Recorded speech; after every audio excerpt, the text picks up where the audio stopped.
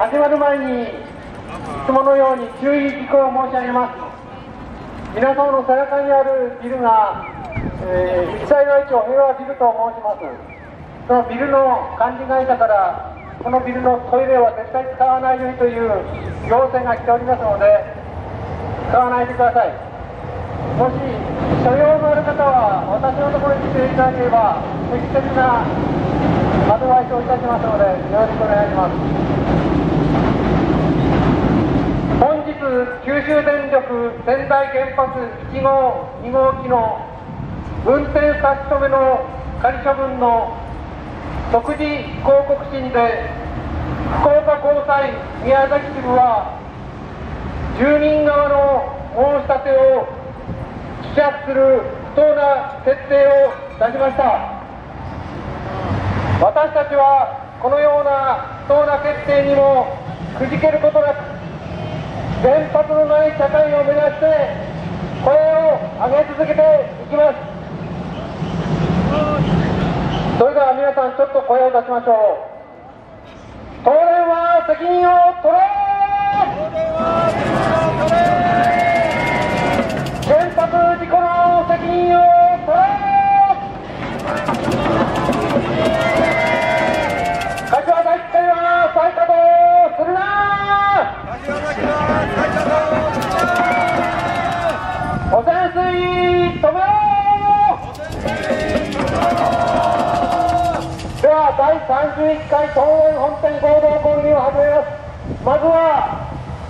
大太鼓をいつも叩いてくださる方が今日は笛と大太鼓の2つをやっていただけることになっておりますのでまず笛を行きます。いやいや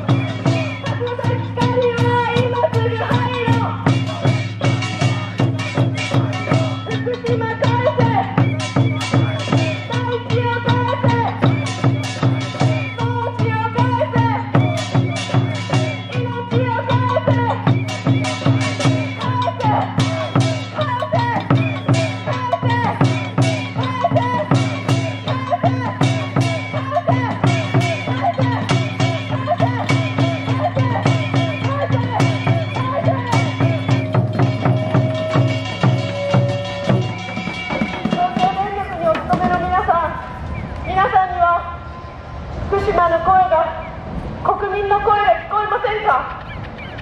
どうして柏崎刈は再稼働なんて言えるんでしょう？私は絶対に許しません。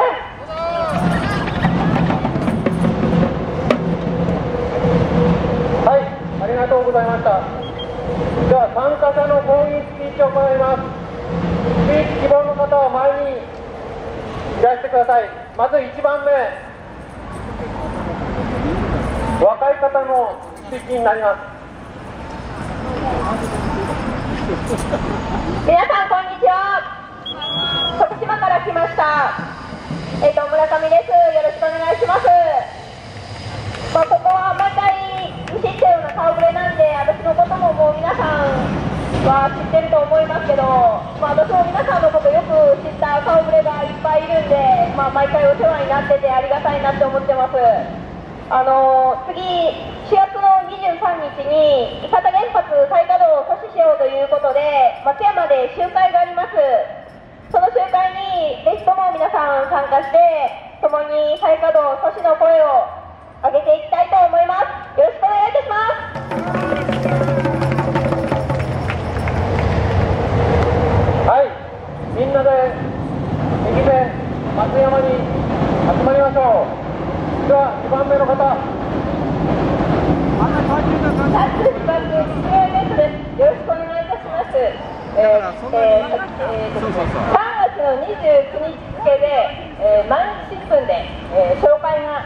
けれども、子ども脱被爆裁判弁護団の、えー、柳原弁護士が呼びかけ人となりまして、日本版普通の V 理法の、えー、制定を目指す市民運動を、えー、開始しております。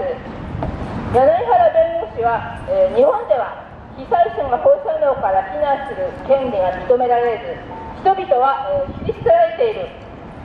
国の加害責任を明らかにし、えー、被災者の人権を保障する、えー、具体的な法律が必要と、えー、日本版チェルノブイリ法の必要性を訴えています、えー、理念法ではなく具体法で、えー、情報公開法をえー、モデルといたしまして市民の参加による、え、草の根の、え、条例制定運動として、え、地方自治体から、え、変革を起こしていこうという運動です5年以上、え、福島の皆様、え、関東に住んでいる我々、えー、無用な被爆をえ、強いられ続けています。理屈をつければ、我々被災者の、え、避難実現のためにも、スピードが、えー、求められています。皆様のご協力、えー、注目ご支援をぜひお願いいたします。はい脱被爆7年ネットからでした。ではショートコールいきます。再稼働反対